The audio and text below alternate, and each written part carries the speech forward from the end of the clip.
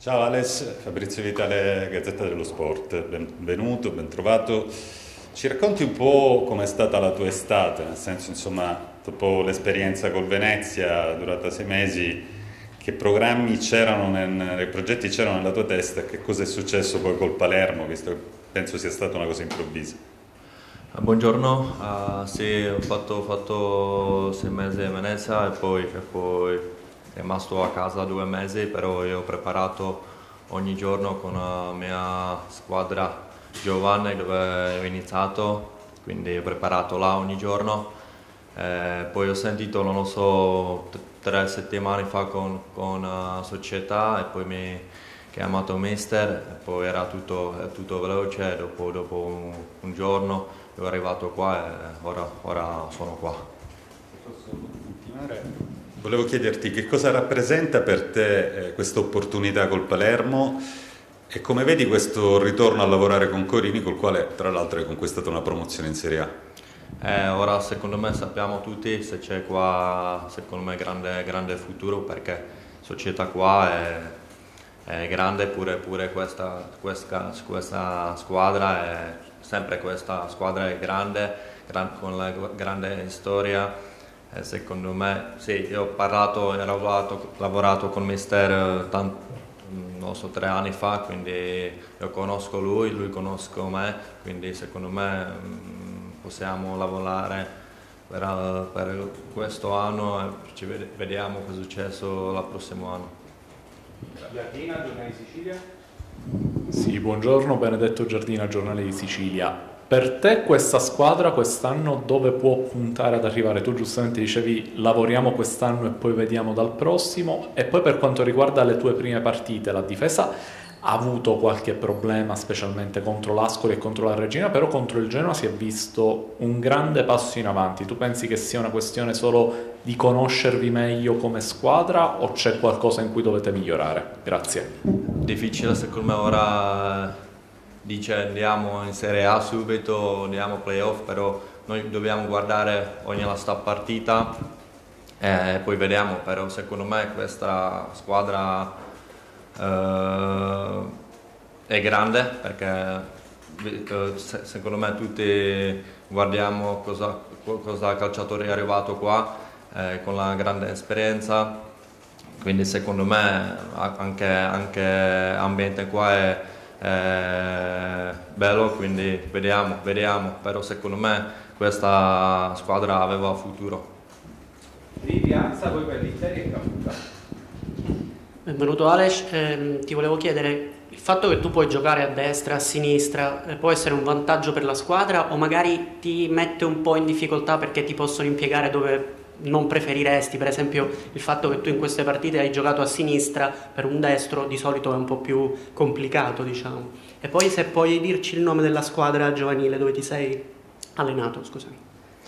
Uh, no, questo secondo me è posto perché se posso giocare a destra, a sinistra, anche a mezzo, mi interessa cosa puoi dare alla squadra. Se mi mister mettere a destra o centrale o sinistra io voglio fare, dare il massimo per questa squadra. Quindi questo è importante anche secondo me per la squadra questo è giusto. Se posso giocare a destra, a sinistra, centrale quindi secondo me questo è solo, solo, solo la cosa positiva. Il nome della squadra giovanile che tu hai citato prima ah, Pribram, Pribram si chiama. Pribram. Pribram Eliteria Azzurra News sì, benvenuto. Eh, tu quando hai lasciato Brescia hai detto che Brescia è stata importante perché ti ha fatto diventare un uomo. Brescia è stata importante anche perché Corini ti ha fatto esordire in Serie A, insomma ti ha dato fiducia. Quali sono i tuoi obiettivi adesso col Palermo e soprattutto quanto è importante ripartire da questa piazza di nuovo con Corini? Grazie.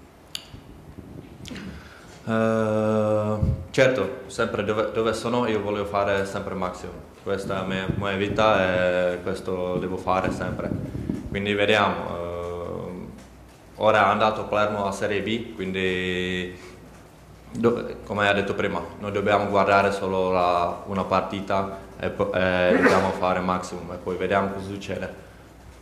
Solo questo.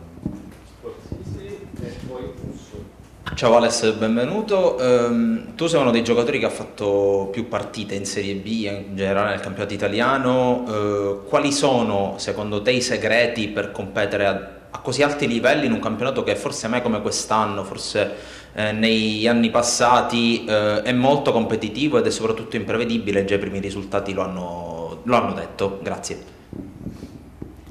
Secondo me tutti sappiamo se questa Serie B questo, questo anno è troppo difficile perché sono qua, questo campionato sono squadre grandi, con un grande nome. Secondo me sono ora 8-10 squadre che volevo andare subito in Serie A, quindi per quello è anche Serie B questo anno difficile, quindi vediamo cosa succede. Musso, sì, buongiorno, benvenuto. E a proposito di grandi squadre, sabato ci sarà una sfida molto importante contro il Frosinone non so, è arrivato nello spogliatoio quanto questa partita è sentita in città per il, per il passato che c'è stato? Sì, lo so, questa partita con le tifose con noi è importantissima, lo so cosa succede, cosa è successo, eh, non lo so, tre anni fa o quattro anni fa, quindi lo so, sentiamo, però noi dobbiamo lasciare, lasciare in campo come solito tutto e noi dobbiamo sentire solo questo e guardiamo solo la partita come solita, però sentiamo se, le, se questa partita è un po', un po sentirla. Vitale? Volevo chiederti, eccomi qua, che cosa vi ha lasciato dentro la vittoria sul Genoa? Cioè, era una partita sulla carta difficile, in salita, per anche per il percorso delle altre due sconfitte che cosa secondo te vi ha lasciato dentro e se può segnare un po' un cambio di marcia per la vostra stagione?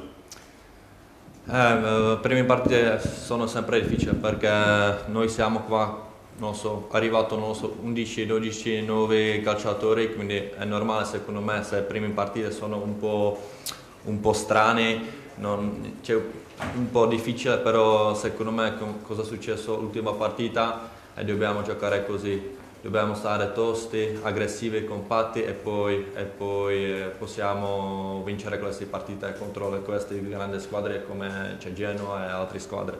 Quindi secondo me si scambiano un po' l'ultima partita, belli stretti, compatti e, e, poi, e poi possiamo giocare così. Filippone, Repubblica?